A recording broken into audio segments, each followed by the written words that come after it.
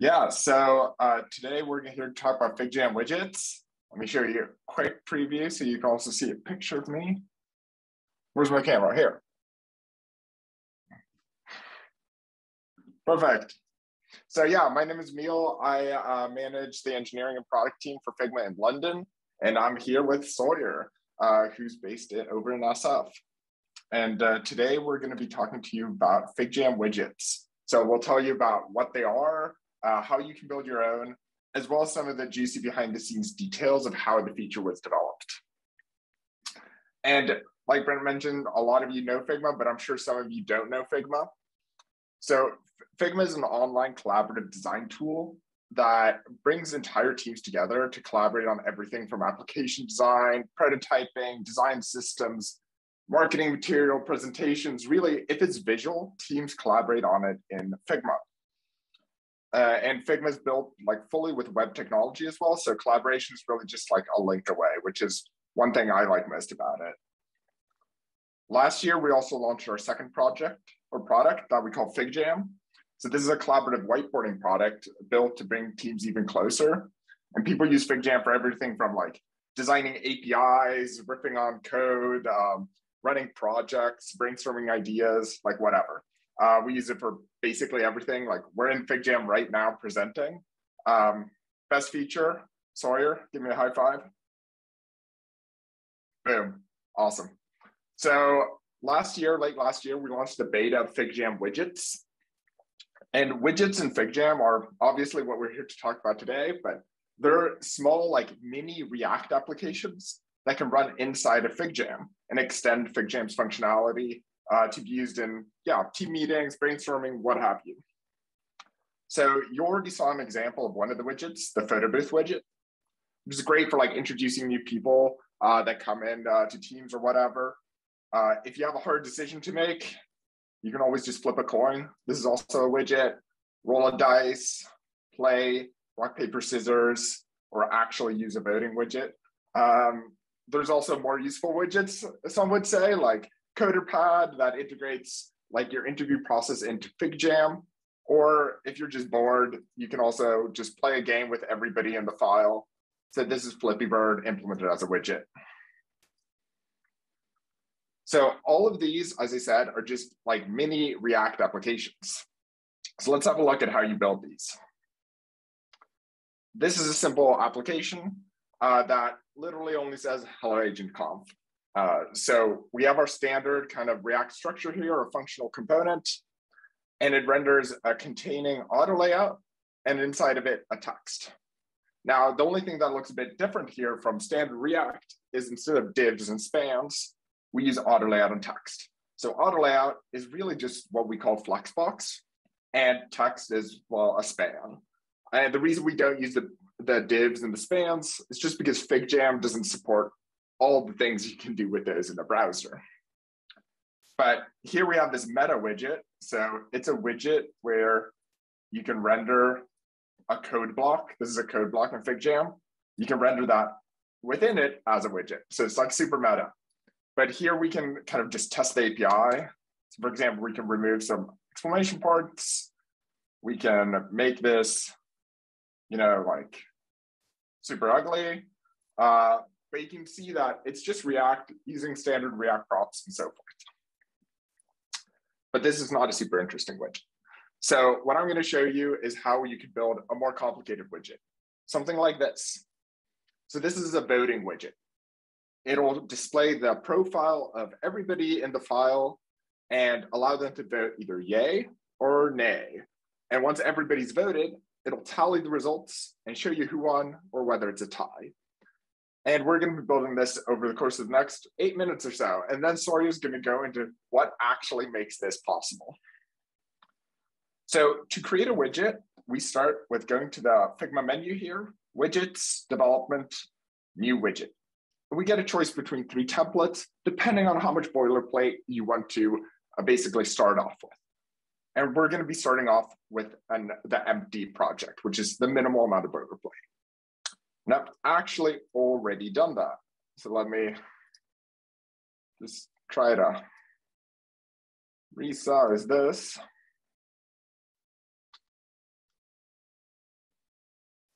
And I think I need to flip my screen share. So I'm clearly not showing my whole screen. Uh, here we go. So uh, now I'm assuming Sawyer or somebody give a thumbs up that you're seeing the correct thing. Cool. Uh, yeah, so what we have here is uh, the boilerplate we got. So it's a simple frame that just has a black background color. We'll also need to spin up a little dev server here. So we run npm run watch, which just will continuously compile our TypeScript code so it's usable within FigJam.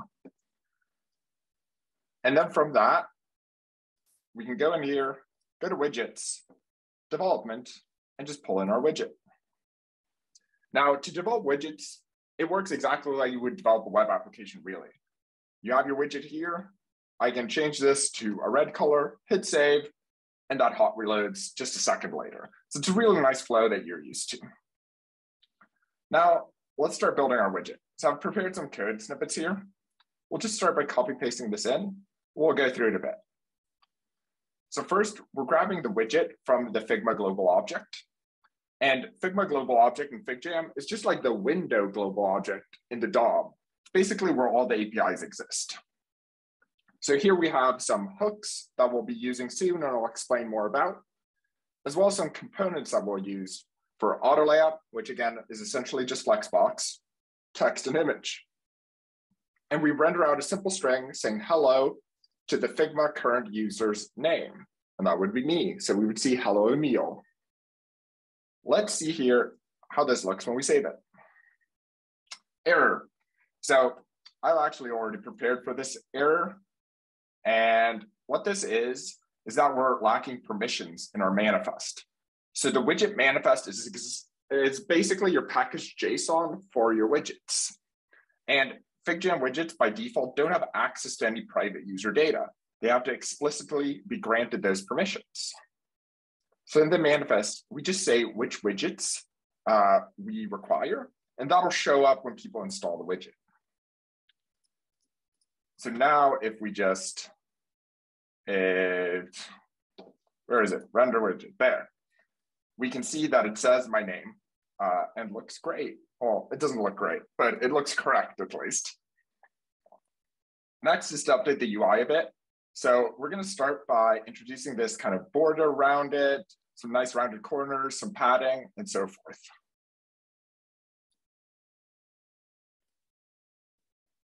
So let's look at this. We have this text that renders hello, my name here. And we're just going to wrap this in an auto layout, so a container. And this container adds a background color of white, a slight gray stroke, set some padding, and so forth. So if we copy in that and hit save, you can see that our widget hot reloads and looks much better already. But compared to what we actually want, this is showing my name as a string, and we really want to show my avatar instead. So let's change the widget and update it to instead show my avatar. What we're gonna do here is just replace this text with an avatar component instead. And the avatar, we're sending in the me.photo URL, me being the Figma current user.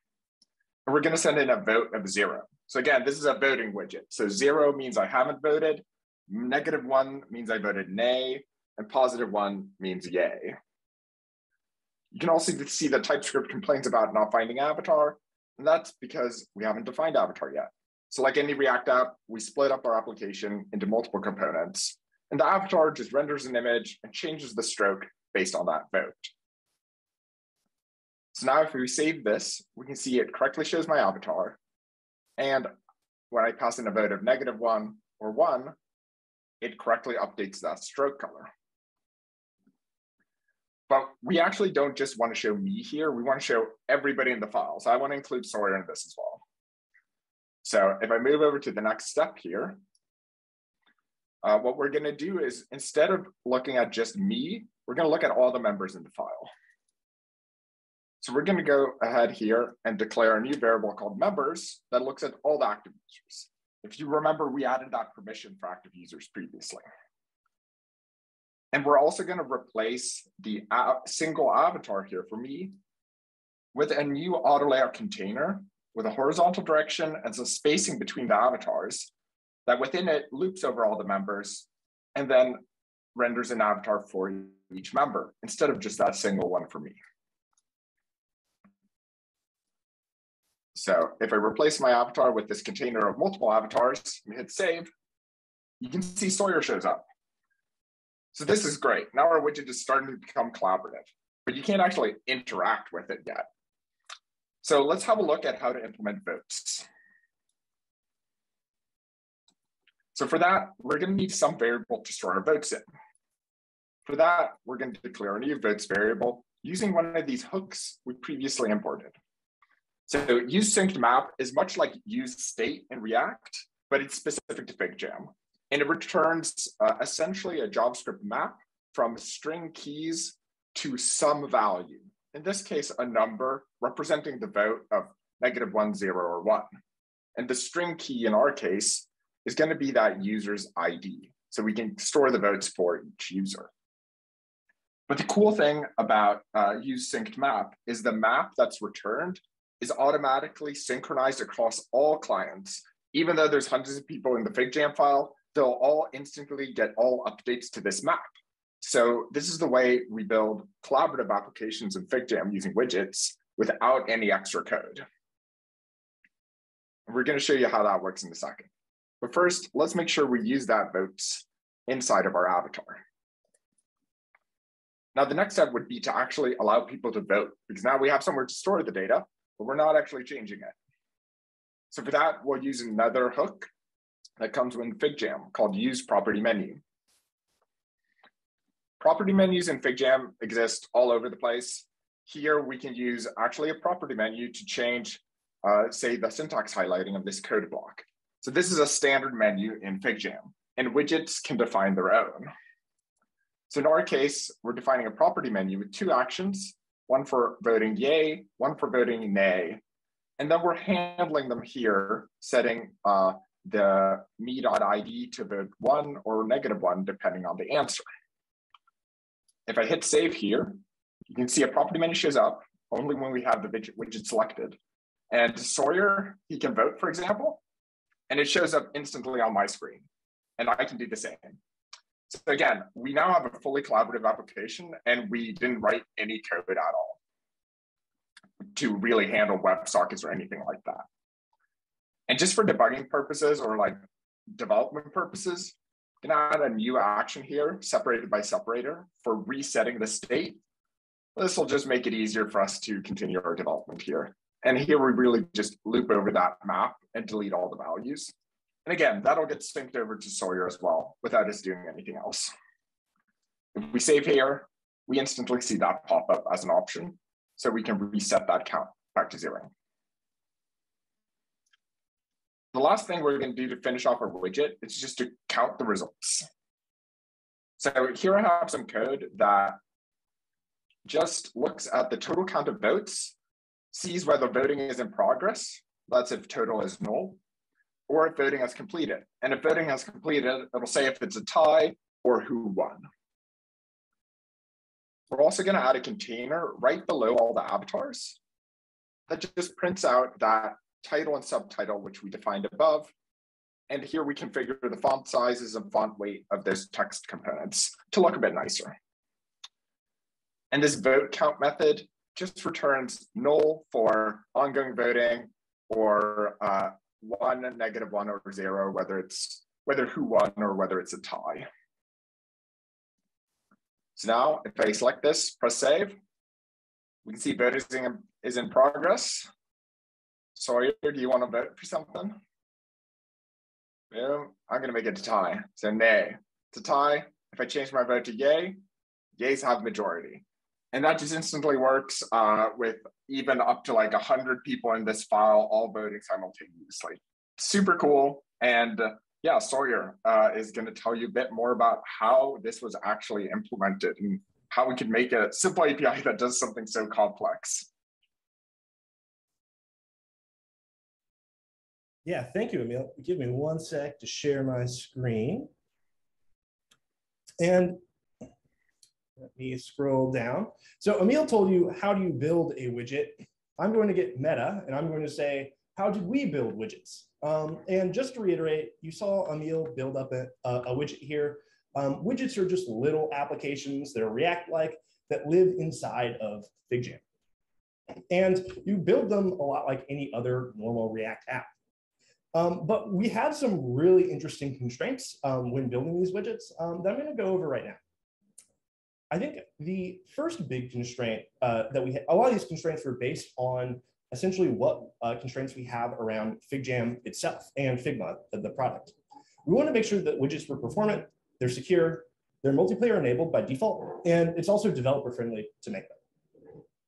So let's start with performance. Um, I will say FigJam has the uh, maybe the weirdest tech stack of anything I've uh, worked on as a web developer. Um, it is written in C++ primarily, um, and it's compiled to, compiled to WebAssembly. Everything you see on the screen um, over here is actually rendered in WebGL. We have a custom renderer for all of this. Uh, the main reason for this is that FigJam supports thousands of things on the, the screen at once, um, and you can have hundreds of people in the file. Um, us being able to like lock down uh, memory management that easily uh, really lets us kind of push the, the boundaries of what we can do in the browser. Um, and by extension, if we're extending FigJam to have all these third-party widgets in it, um, we don't want those to degrade the performance of FigJam. Um, you should be able to have thousands of widgets inside your FigJam file and not see that they're any different than some something like a sticky that we wrote in C++. Next is security. Um, if you've ever thought about running uh, third-party code in someone's browser before, uh, this is pretty challenging. Uh, we don't want to let these widgets be able to read your cookies, mutate the DOM, um, and we also want to make sure that we only really run widgets when someone explicitly takes an action on them. So they aren't running in the background, slowing down your file, and stealing uh, information on your document. We want to be very clear when you're running a widget or not. Um, next is multiplayer, and um, Emil did a great job of showing off this. Uh, FigJam is a naturally multiplayer application. Um, we can watch each other in real time, move things around on the canvas, um, and uh, everything on the canvas is made to be interactive with multiple people around at the same time. Um, it would be a shame if widgets didn't support this out of the box too. Um, so we kind of want to make this the challenge of creating a multiplayer application easy. if you've ever done something like build a real-time application with WebSockets or WebRTC, that this is actually incredibly challenging. It is not an easy thing to do by any means, um, and we really want to make that as simple as possible. And I think our final challenge constraint that we had is we wanted the API to be developer friendly. Um, a lot of the people who are building widgets may not even be full-time software engineers. They could easily be uh, designers who are using Figma. Um, and we want basically building widgets to align as much as possible with like doing normal web development. Um, that's why the, the API looks so much like React.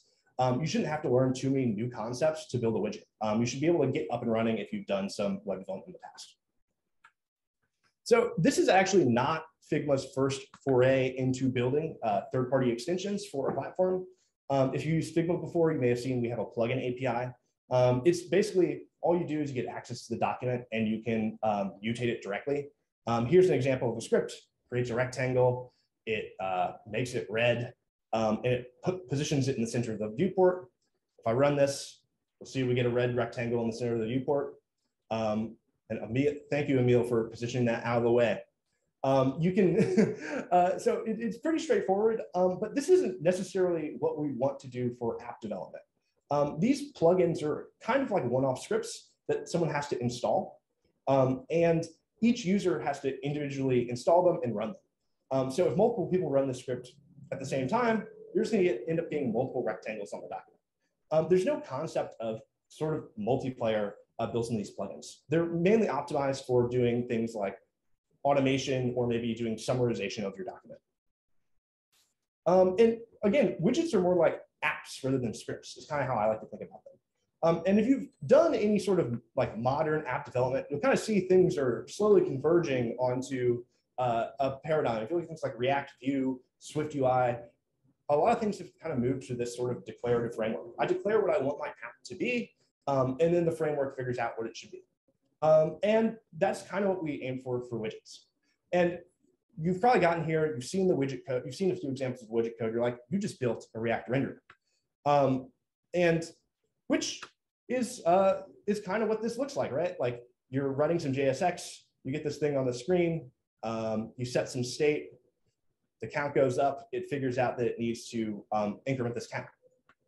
And there's lots of examples of React renderers. Uh, there's one for Three.js. There's React Native, which Emil is familiar with. Um, one for VR. There's one for Figma. Um, there's literally a React renderer for everything. Um, and this is what we did at first. We actually built a React renderer. Um, here, this is a video from me in April of last year demoing for the company. Um, you can see we basically have a React Native like API that is rendering out to FigJam's canvas. Um, and this is what we, how we got up and running in like a few days just to get, get this framework running. Um, but we ran into some snags with actually productionizing this. Um, the first thing is that React actually requires keeping a lot of stuff in memory. Um, and again, with our, our thoughts on performance, you may be able to have thousands of these on the canvas at once. Um, it doesn't necessarily make sense for each of these to basically be, uh, for the entire tree, React tree of these to be in memory at the same time. Um, the next big thing is how do we actually end up syncing the React internal state over multiplayer? Um, one thing that I didn't, I, I, we've kind of glanced over, but I haven't mentioned yet, is that like the way to think about Figma's canvas or FigJam's canvas is that basically each of these nodes is kind of like a DOM node, except we all have mutated at the same time. It's like a shared, a shared like DOM tree that we're all mutating. Um, and this is not working super well uh, with React internals. We have to make some pretty big changes to that. And then finally, uh, again, we want to make sure that the code is sandboxed from each other. Would each widget have its own copy of React so that they, uh, they don't have shared state across? Um, again, this kind of gets into that memory issue that we were talking about earlier. So let's zoom back out. Um, and I'm going to kind of show you what we actually built, like what actually happens when you run this widget code. So here's our uh, JSX widget code again. Uh, looks just like React. Um, the thing that maybe Emil showed off is that when you create a widget, we actually have some TypeScript compiler options so that this JSX actually gets uh, outputs to the uh, figma.widget.h, which is on the global object that, uh, that Figma provides to all of these uh, widgets. And this works just like React Create Element, um, except it hooks into FigJam's code itself. And you may be wondering, where, where is this where does this go? Like what is happening? How does this get in the global object? Um, this is where it's kind of big brain time. Um, to sandbox each widget we actually uh, embed a c javascript vm into our wasm binary called uh, QuickJS so we essentially com compile a javascript vm into our wasm binary so that we can actually safely sandbox the javascript code from other running widgets and from the document itself um, there's just not a way for it to escape the document and get, get, get to the DOM at all. Um, and things like figma.widget.h, uh, auto layout, usync state, all these uh, functions that you saw on hooks, they're actually all defined in C++. And we're basically just exposing them uh, to the VM so you have direct access to them. So when your code calls figma.widget.h, what it's really doing is it's generating a tree in C++ that basically says, this is what I want the document to, uh, this is what I want the document to look like um, you're basically saying, this is how I want the document inside the widget to look like, um, and you're building up this tree. From there, FigJam can just look at what's already in the widget and do something that's a lot like React Diffin, to, except in C++ to figure out, oh, like what is, uh, when I click this, the only thing that changed is the text inside the tree. I'm going to use that. My, uh, I'm, I'm just going to update the characters inside of that, that text name. Um, and that's essentially how this works um, under the hood so that it's sandboxed um, from the normal browser as well as from um, as well as we can actually only run them when someone directly interacts with the widget. Um, we basically uh, can kill and start this VM at our own uh, will. Thank you. Really got to bump up those numbers. So this was kind of uh, the very basic flow of how widgets work. Um, now I'm going to tell you, uh, there's that magical part about the multiplayer. Um, and uh, we didn't really demo this super well, but if you look at this if you look at this GIF here, you can see that multiple people can interact with the widget at the exact same time, and it will hit a consistent state. Um, this is kind of interesting. We have four people here all clicking it, and I get the view of everyone who's clicked on it at the same time. Um, and remember, like these are like different clients mutating the DOM at the same time. How do we like hit this point of eventual consistency? Um, and it's pretty simple. The simple case is easy to imagine, right?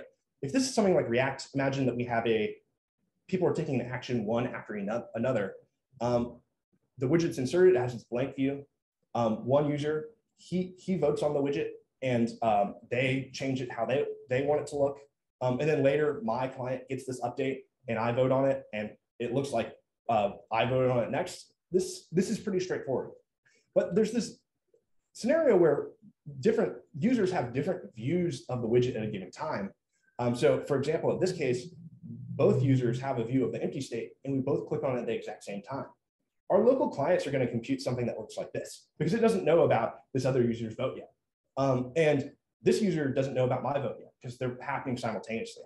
How do we get to this state where both votes are merged um, into one cohesive view? And for doing this, uh, Emil showed off that use sync map hook we have. Um, one way you can do it is you can model your, your state for the application as a map. Um, and by doing this, you can imagine that each vote is maybe the user's name um, in, is a key as one of these maps. So when I send up my vote, I'm basically just adding the key Sawyer to the map. And when Guy votes, he's adding this key Guy to the map. We have a multiplayer server that's written in Rust um, that is basically taking all of the um, scene updates uh, or the uh, document updates uh, up up, up to the server, and it's basically redistributing those across science, uh, uh, clients. We can stamp the, these scene, uh, these document changes that we've made with what the, the state of our map looks like at a given time. Then the server can take these and be like, wait, each of you have, have added two different keys here, and neither of you has a full complete picture of what the new merged map is. The server can go ahead, merge these states together. Um, so there's now a combined map where both clients have interacted with it. Um, and it will pick a client to say, hey, you have an out of date view of the world. You should re-render this. Um, and uh, that is basically how we do uh, consensus across um, these uh, different clients to make sure that we eventually get to the correct um, a view of a widget if multiple people are operating it on the same time. And this actually, it sounds like a pretty like long process, but it actually happens super quickly. I mean, if you look at this, this is four people uh, we were all remote when we did this in different cities, uh, and it just happens uh, fairly quickly, which is pretty uh, pretty exciting for this to to work so well. I think. Um, and yeah, that was a very very brief uh, 15 minute overview of sort of peeking behind the scenes of how do uh, widgets work under the hood, um, how we keep them performant, we keep them secure, they work with multiplayer, and we have a developer friendly API that looks a lot like React, but isn't quite React. Um, and uh, yeah, how you can write some code that looks like this and uh, get something like this. Uh, yeah, that is all I have for you today. Um, I will say that uh, I do, I'll, I'll, share out this uh, uh, link in the Zoom afterwards. Um, and you can see that we actually have a bunch of resources down here. If you are interested in learning how to build a widget, there's documentation. We have a bunch of example code on widgets. Um, we have some live streams on uh, widgets. And finally, if you're interested in this piece about building building the widget framework, um, I can say that we are hiring. Emil is hiring in the UK, um, and we're also hiring in the US as well. So if you're interested, uh, reach out to one of us or check out this careers page. Um, thank you very much, everyone.